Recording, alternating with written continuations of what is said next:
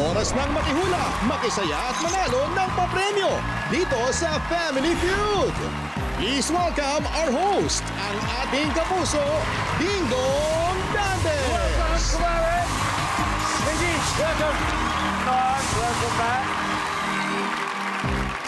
Isa na namang araw, another day, another God-given opportunity na magpaligaya ng milyong-milyong Filipino dito po sa pinakamasayang family game show sa buong mundo. Ito ang Family Feud! At ngayong hapon, magtatapat po ang dalawang pamilya. Yung isa, magkakadugo. Yung isa naman, matagal nang magkakasama sa pagpapatawa sa mga comedy bars. And first up, makikilala natin ang Carlos Eduardo family. Ang kanilang team captain ay isa pong ah, TV host, isang businesswoman and celebrity mom. Nako, kasama ko pa nung nagsisimula siya sa TV. Um, mga 15, 15 years ago. Huwag na nating bilangin, kumpare. Na magkumpare na kami ngayon. Higit isang tingada, please welcome Bettina Carlos Eduardo. Kumare. Kumpare! Good to see you. Oh, nice to see you. Wow, Bettina. First of all, please, pakilala mo pa ang mga kasama mo sa Carlos Eduardo family. Mga kapuso, narito po ang aking The One, Mickey Eduardo. What's up, Vicky? My Maxima, Vicky, welcome to family. Thank you. Thank you po. Thank you. my baker brother, Don. Hey, Don. And my baller brother, Allison. Yes, Ali! Grabe, alam niyo po, bihira po na makita si Bettina at si Mickey pero gusto natin silang batiin ng congratulations, belated congratulations sa inyong baby na si Amina. Thank you. She's uh, one, one and a, no? One, One and a half. One and a half. Grabe. And of course, regards to Gummy. Yeah, may your inanak. Di ba? Regards to Alam her. mo ba ang gap nila 12 years? 12 years. Sobra. So parang nire-relearn ko ulit, paano nga ba maging nanay? Paano nga ba magka-baby? Paano nga ba magka-anak? Pero I'm sure hindi mawawala. Eh, Parang instinct na yata siguro sa'yo. Merong certain, oo, may certain times, may certain parts, pero parang everything pa rin. Siyempre, iba na meron ka ng katuwang, na Yes. meron ka ng kasama sa buhay habang nagpapalit ka ng diaper. Very hands-on ang asawa ko eh. Again, sa inyong family, good luck. Alright, good luck. Thank you! You got this? Okay po, ito ang bang klaseng makakalaban nyo dito. Dahil sila po ay ang Class A. Starting with their team captain, the 27-year veteran sa pagiging diva sa sing-along bars. Wala pong iba kundi si Anton, di ba? Welcome back, Anton. Nice to see you, Magandong. Ngayon, kasama mo pa yung mga Class A. Please, pakilala mo naman. Of course, kung ako nakilalang nagre-regime, katabi ko naman, of course, siya naman ang nagre-resume. Hindi, of course, AJ, ang aming uh, million voice comedian from Comedy Bars of Hello, Course. AJ. Welcome. Hello po, Kuya Don. Hello. At susunod, of course, kay uh, AJ, ang kilabot na balladeer sa aming klase. We have Aaron Mendoza. Aaron. Welcome, Aaron. And last, kilabot ng mga matrona, Arnel Chica. Sobrang espesyal po ang araw na to. Bukod sa magkakalaban sila, nandito ang Carlos Eduardo family. Dahil ngayon po, ang mismong araw na to, ang birthday ni Anton Diva. She's celebrating her birthday today. Pero ibig ba sabihin dahil birthday mo, ililibre mo na sila ng mga sagot. Ah, syempre, hindi nga namin na ano, napagbigyan nila kami ngayon. Hindi nila kayo pagbibigyan dahil alam ko gusto din nila makuha ang 200,000 pesos dahil yan po ang posibleng pwedeng mapanalunan. Kaya eto, umpisa na po natin ang survey. Bettina and Anton, let's play round one. Let's go, come on.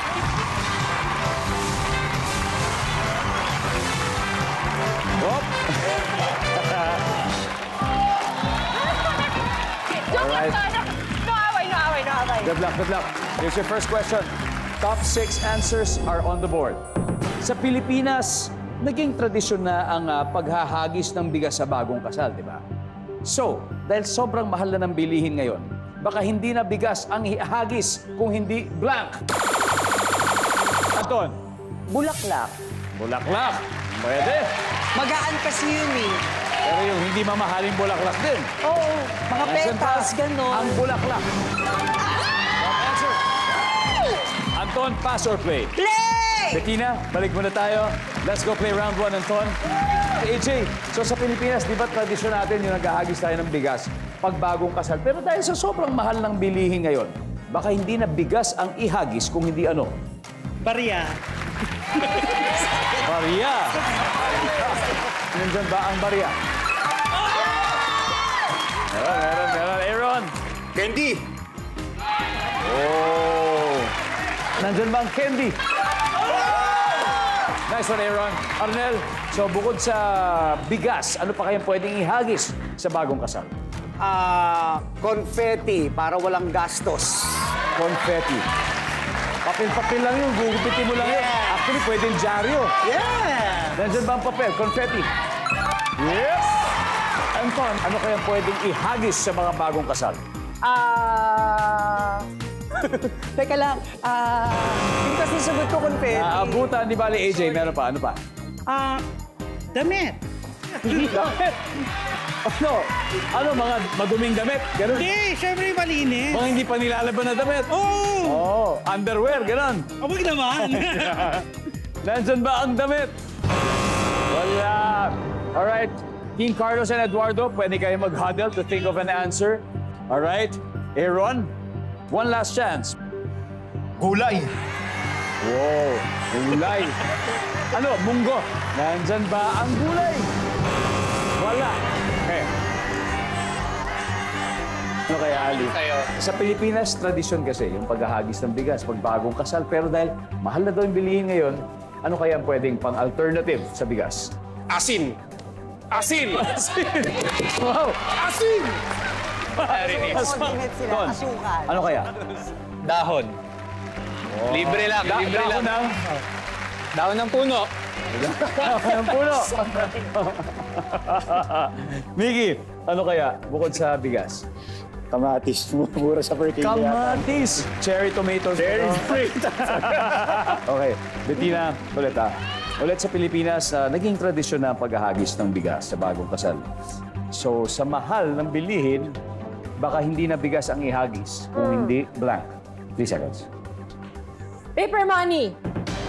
Na 1,000. Paper money. Ang galing! Paper money! Yung laruan ng mga bata. Paper! Nandyan ba ang paper money?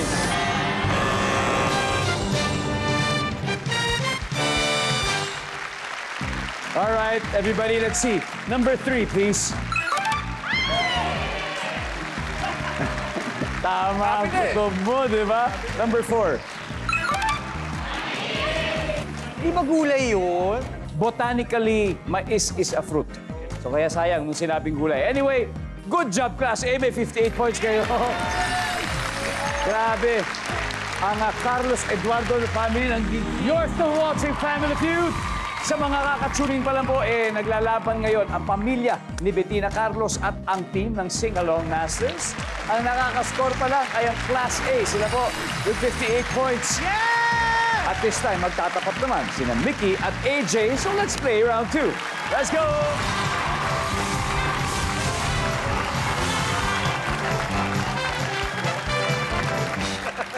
Nice. Ay, sorry, sorry. Ang bago ni Sir Mickey. So kayo ay uh, La Union based na kayo ngayon. Union based. And uh, you have a resort also in La Union. Yeah, yeah. Ang name is uh, Aguinana Villas. Yeah, family Yun. villas. Yeah. Ayan, good luck. More power to your resort. And of course, good luck sa, sa Thank round you, na ito. you. Dahil babawi kayo, Mickey. Thank you. Sana. Dahil po ang katapat mo, si AJ, nako, mahusay naman kumanta. Dahil siya po ang tinaguri ang diva with a million voices. Oh, grabe na. Nabilang mo yun, ha? O ano na lang, sila na lang na pwede natin gawin ngayon. Isusurprise ako ni Ate Anton kung ano sasabihin niya, yun yung gagayahin ko. O sige pa. Surprise! Sa awiting, Leron-Leron Sinta. Sige. Okay. Let's go, AJ. Let's hear Moira!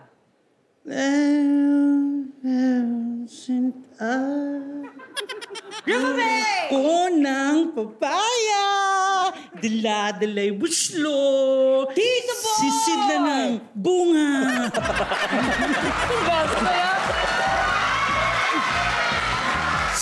Hundred. Grabe, napaka-talented. Ang tanong, masok bitin kaya ang ah, top answers dito dahil top seven answers are on the board. The question is, kung susugurin kayo ng zombie, name something na gagamitin mong pangharang sa saradong pintuan. AJ, cabinet.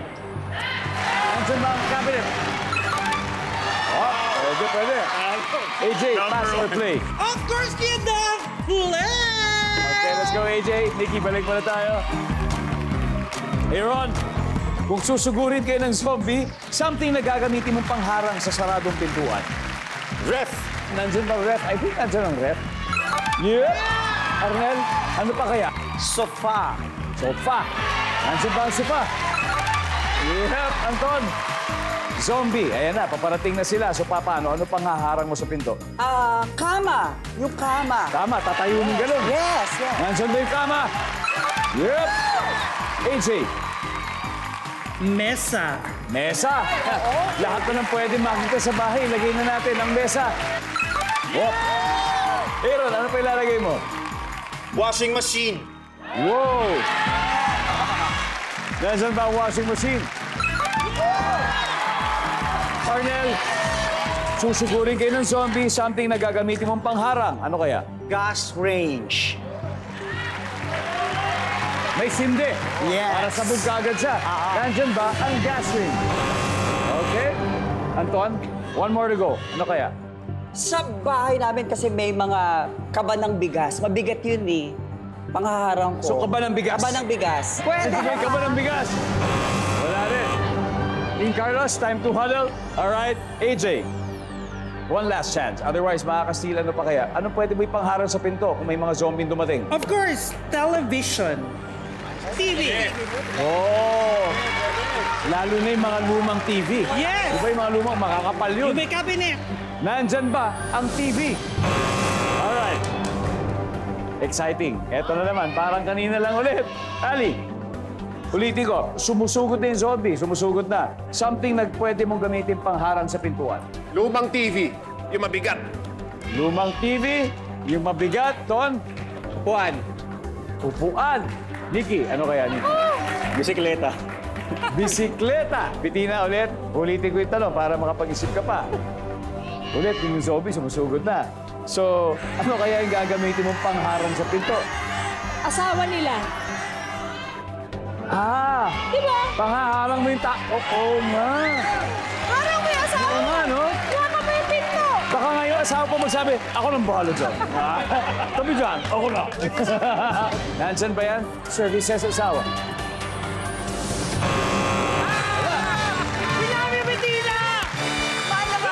Okay. Ano kaya to? Tignan nga natin, number seven. Tama si Ton. Anyway, nakaka-proud ang Class A kasi two straight rounds na nanalo sila. Kaya may 146 points sa two sila. At lalong na-challenge ang Carlos Eduardo family. Kaya welcome back po sa Family Feud. Totoo po ang nabasa at napanood sa balita. Mas malawak na po ang ating guest to promo. Dahil araw-araw, eh maglalabas na rin tayo ng guest to promo questions. Sa hapon pa lang, pwede na rin nga kayong sumali at manood ng Abot Kamay na Pangarap. At nandoon ang unang tanong natin. After Abot Kamay na Pangarap sa Lilit Matias, nandun din po ang susunod. Fast Talk with Boy Abunda. Meron din tayong guest to win promo question dyan. Voltes 5 Legacy, nandyan din po yan. At Eclipse of the Heart. At pagdating naman sa gabi, manood kayo siyempre ng Family Feud ngayon dito mismo dahil i-announce natin ang lucky 7 viewers na mananalo ng 20,000 pesos each. Simula po yan next week. Kaya abangan niyo po. Wow! At ngayon, naglalaro pa rin ang pamilya ng chef, resort owners, and athletes. That's the Carlos Eduardo family. Wala pa po silang puntos. Pero ang talented sing-along masters na Class A ay meron ng 146 points. Kaya, Ton and Aaron, it's your turn. Let's play round three. Let's go!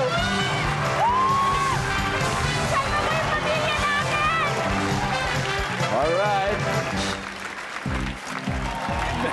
Hahabol talaga si Naton. Si Ton, alam ko, yung volleyball eh isang ano para to keep you fit, right? Pero bukod diyan, eh meron siyang napakagandang negosyo. And please tell us more about it kasi ako gusto ko lang sabihin na kami, especially si Maren, ay nag, nag-benefit dito Ay, sa iyong ah. sa iyong napakagandang business. Ton, please tell us more about it. Ah, bali yung business ko is baking ako ng mga lactation desserts. Ito yung mga dessert na pag kinain ng isang breastfeeding mom, magkakagata siya. Napakaganda. Napakaganda. madaming mga nanay na nag-breastfeed at natutulungan ng negosyo. Okay, more power, Ton. Thank you. All right, top six answers are on the board. Ang good news, walang ipis sa rerentahan yung bahay. Bad news, meron nga lang blank. Aaron. Langgam. Langgam! Takot ka sa langgam? Yes, dala yung pula. Lalo rin pula. Sabagay, tama naman. Nandyan ba ang langgam? Okay. Ton, good news, walang ipis doon sa rerentahan yung bahay. Pero ang bad news, may blank. Ano yan? Merong daga. Daga! Nandyan ba ang daga? Top answer. Ito na, Ton, pass or play? Play, play, play. Okay, ito na, round three. Finally. First time, first time. Ali, Ali. Okay. Okay. Ulit. Good news, walang ipis sa rerentahan bahay. Pero ang bad news, may blank. May nakaiwan ng damit. Lumang damit. Sa lawal! Alam niyo yung mga maong na hindi nilalaban ng 10 years, gumagapang kasi yun eh. Baka yun yun. Services. Wala, wala, wala. Damit. Okay, Bettina. Good news, walang ipis. Pero ang bad news, merong blank sa bahay na rerentahan nyo. Tulong sa kisame. May tulo sa kisame. Mga ganyan, pwede. Tulo sa kisame, nandyan ba yan? Uy! Class A, time to huddle. Miggy, pwede pa to. Good news, walang ipis sa rerentahan, pero ang bad news, merong... Multo. Multo! Survey! Yes! May multo! Meron, meron, meron. Don! Merong gagamba. Services! Uy! Arnel, ano kaya to? Good news, walang ipis. Pero ang bad news may May anay. Nanay, Aaron, Surot. Surot. AJ, Sirang ah, faucet. Mga ano, silang uh, tubo. tubo. Sirang tubo. Anton, ano kaya to? Good news, walang ipis. Pero ang bad news, may blank sa rerentahan mong bahay. Para sa akin, anay. Anay, A for Anay. Yes, yes. A. Class A for. Why not? Survey says...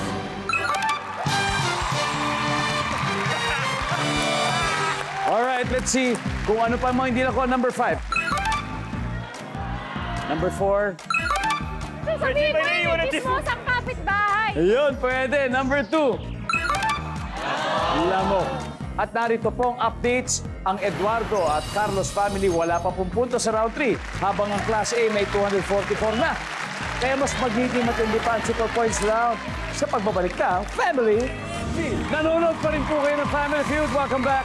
Alam niyo, nakakatuwa malaman po na all over the world, eh napapanood tayo ng ating mga kababayan at ating mga kapuso via Kapuso Stream. Ngayon, gusto natin pag-hello siyempre, hi, sa mga nanonood. Yung ating avid viewers sa Calgary, Canada. Magandang ah, araw po sa inyo. Calabasas, California. Sa Queens, New York, thank you for watching. Sa mga taga Sabah, Malaysia, mga kapuso natin dyan. Sa mga nanonood sa Bangkok, Thailand, thank you, thank you for watching. At sa mga taga Kaohsiung sa Taiwan, maraming maraming salamat. Dahil pag international na talaga tayo. Thank you for watching. Now, bago po ang final round, balikan muna natin ang score. Ang Carlos Eduardo ay naghahabol. Kasi talagang, ah, yung score talaga nila ay wala pa. Dahil 244 na ang nakuha ng Class A. Pero alam natin na anything can happen dito sa ating final round. Kaya dito na magkakaalaman, as in, buwis buhay levels na ito. Ali and Arnel Chica, let's play the final round.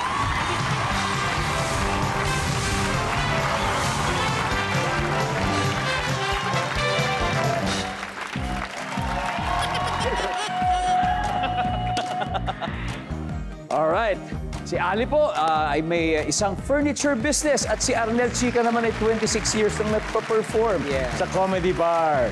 Ayan, so ito. Top 4 answers are on the board. Ano ang sign na ang isang tao ay kakagaling lang ng bakasyon sa Boracay? Arnel, May sunburn. may sunburn! Nandyan ba ang sunburn? Oh, nandyan. Pass or play, Arnel? Play! Ali, balik muna tayo, balik muna tayo. Okay? Ito ha. Kailan ka ba huli nag-Boracay? Parang last year pa. Nako, medyo fresh pa. Okay. Anton, ano ang sign na kakagaling mo lang sa Boracay? Siyempre may tan line. May tan line! Yun yata yun. Wala. Hindi kayo nagbe-baiting show. AJ, yun na yun. Kasama na siguro doon, AJ. Ano ang sign na ang isang tao ay kakagaling lang ng bakasyon sa Boracay? Naka-braid ang buhok.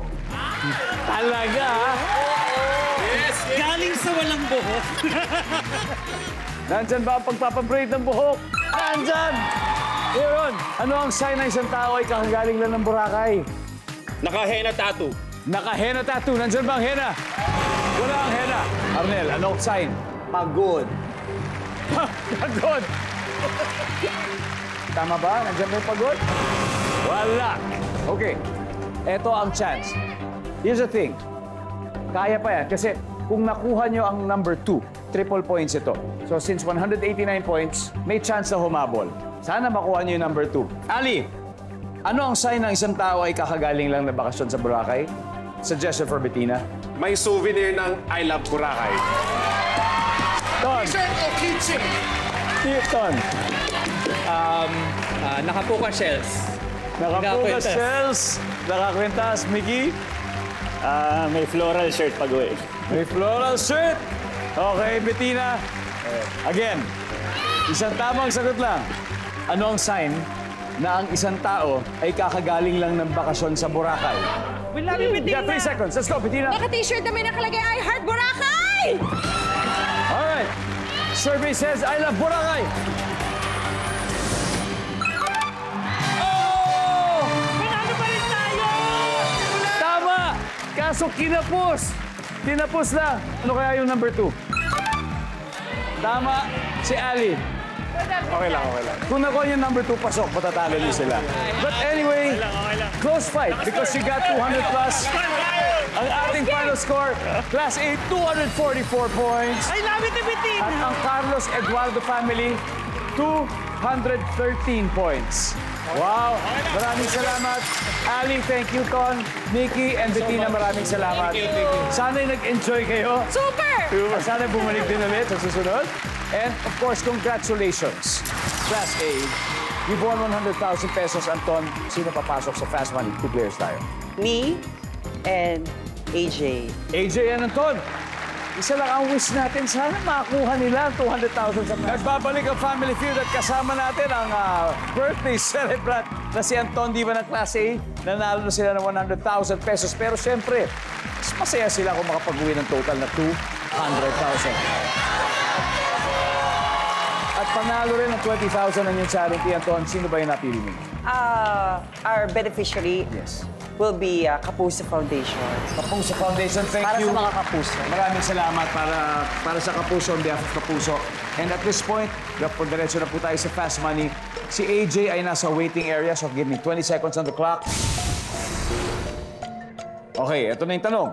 Bukod sa cheese, ano pa ang karaniwang flavor ng ice cream na ibinibenta ng sorbetero sa kalye? Go. Chocolate. Probinsyang may norte sa pangalan. Ah... Ilocos. Word na karime ng show.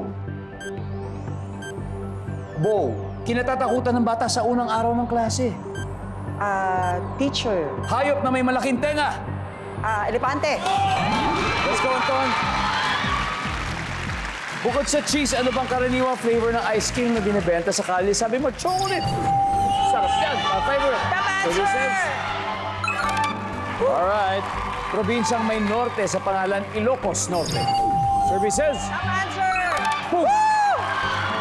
Word na karime ng show. Sabi mo, Bo. Services. Okay. Kinatatakutan ng bata sa unang araw ng klase. Sabi mo, teacher. Sabi ng survey. Hayop na may malaking tega. Sabi mo, elepante. Sabi ng survey. Yeah. Oh, yeah. 48 to go. 48 to go. Let's welcome back AJ. Let's go, AJ. All right. Si Anton Diva naka 152 points. Oh my God. 48 to go. Di ba? Pakukuha mo na yung 200,000 para sa buong team nyo. Kaya yan. Kayang-kaya. At this point, makikita na ng manunood ang sagot ni Anton Diva. Pengi pong 25 seconds. At magsisimula na kami. Now, bukod sa keso o cheese, Ano pa ang karaniwang flavor ng ice cream na ibinibenta ng sorbitero sa kalye? Go. Chocolate. Vanilla. Probinsyang may norte sa pangalan. Camarines. Word na karime ng show. Blow. Kinatatakutan ng bata sa unang araw ng klase. Teacher. What's a teacher? Kaklase. Hayop na may malaking tenga. Daga. 48 points, yun na lang kailangan natin. 48. Bukod sa cheese, ano pang karaniwang flavor na ice cream? Sa kalye, ang sabi mo ay vanilla.